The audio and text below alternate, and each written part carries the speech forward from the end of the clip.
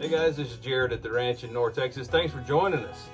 I wanted to shoot a little video here and show you what we do when we precondition our calves when we wean them.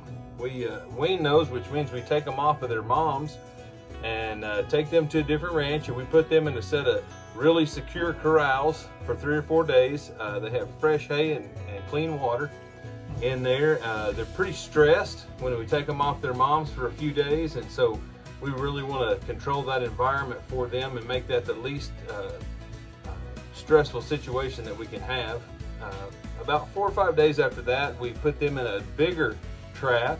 It has a little bit of grass, but it also has, uh, again, free choice hay and uh, real fresh water. Uh, we also begin to feed them a mixed feed because when we're preconditioning these, uh, we give them vaccines. we run a real stringent vaccine program uh, to where these cattle, when we wean them and they get stressed, the two biggest things that stress causes are illness and uh, weight loss. So what we want to do is we want to precondition these cattle to go to a feed yard or to a grazing operation to where that they are not sick, they, uh, they eat feed real well, uh, they're around people, they're around trucks, they're around horses and everything, and so their stress level is really low. Uh, usually after about 20 days on that program, uh, they are uh, back to their original weights that they were when we weaned them, which is a pretty good deal. And then they start gaining anywhere from one to three pounds a day.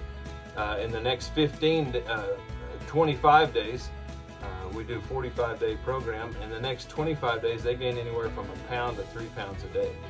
So let's get in this video. I, what I do is every morning when I go over there, I look through those cattle and see if there are any that are sick. And if there's any uh, respiratory issues, if there's any injuries, if there's any pink eye, if there's anything like that, what I'll do is when I when I start pulling up, these these cattle will start coming up, and uh, especially my lead steers. We use a we use a couple of lead steers in each one of these uh, groups of calves uh, because they are they are just that. They lead these calves to water. They lead these calves to feed. So what happens when I pull up with the feed truck, those lead steers see the feed truck and they go, oh, it's time to eat.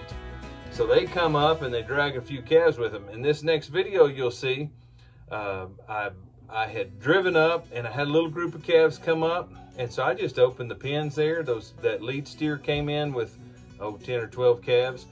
The one that was sick, I pushed her up with that group of calves and then I split her off with a couple of calves so she doesn't get alone and gets even more stressed out than she was and uh, I'll show you how, how we get them doctored. And then what we do uh, kind of on a daily basis, feeding and uh, putting out hay. Came out here this morning to feed these calves and as you can see this big heifer here in the back got kind of a bad eye.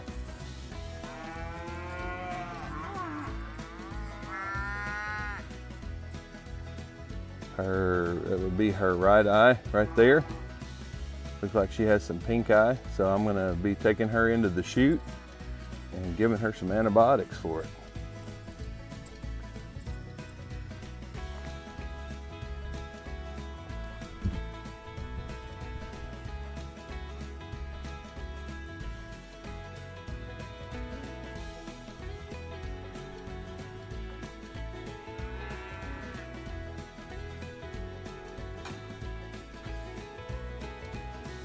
Got her in here duly restrained.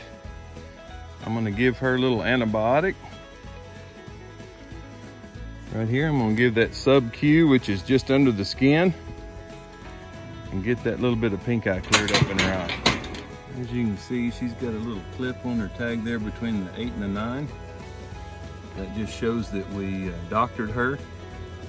We'll put that on our records in my record book and then also on our computer. That way they go down the right channels when we sell them. As you can see, these cattle are nice and settled. I'm gonna turn them back out in their pasture here and we're gonna put out some feed and some hay for them. Uh, as you can see, we're feeding out of a feeder on the back of the pickup here. As you can see, this feed is a commodity mixed blend. It's got some commodity pellets. It's got some uh, flaked corn. It's got some gluten pellets. It's got some uh, cottonseed hull some good stuff to get these calves started eating. You can see here on my dash, I've got a counter.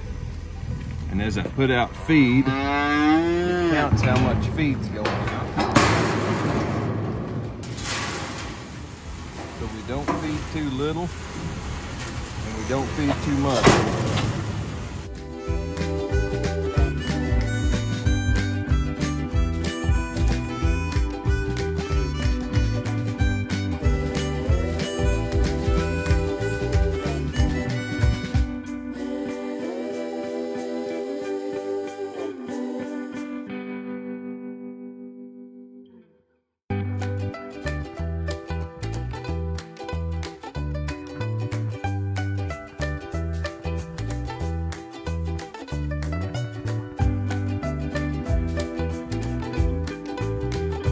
Man, oh man, what a beautiful morning.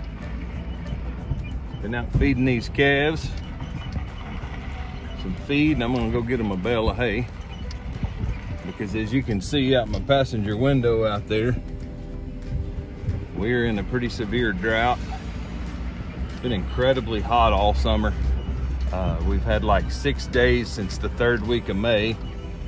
Uh, it is, today is the 12th of August We've had only six days in the 90s since the third week of May. It's been all the way up to 114, so 100 plus every day, pretty warm. I'm gonna show you, I'm gonna pick up this bale of hay and go give it to these calves. keep going with our morning. So beautiful this morning, I'm ready to get back to headquarters and ride my horses before it gets too hot.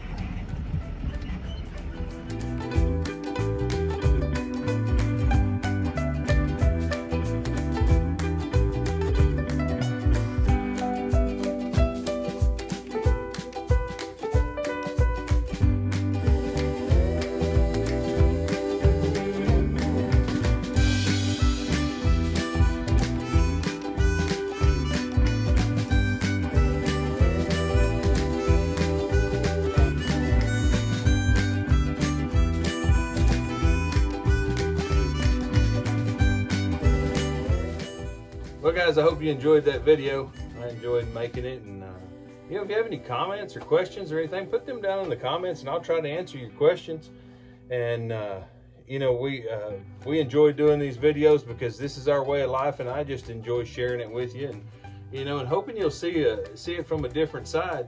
You know, there's some people out there that are naysayers and that they, they see it from a different angle and they see that we're cruel to our animals and that, you know, we, we choke them and and rope them and drag them and hurt them and uh, whip on them and uh, you know hot shot them and all that but the vast majority of us in this industry are very good to our animals because that's our that's our way of life. That's that's our income. Uh, we also answer to a, to a higher calling uh, being God.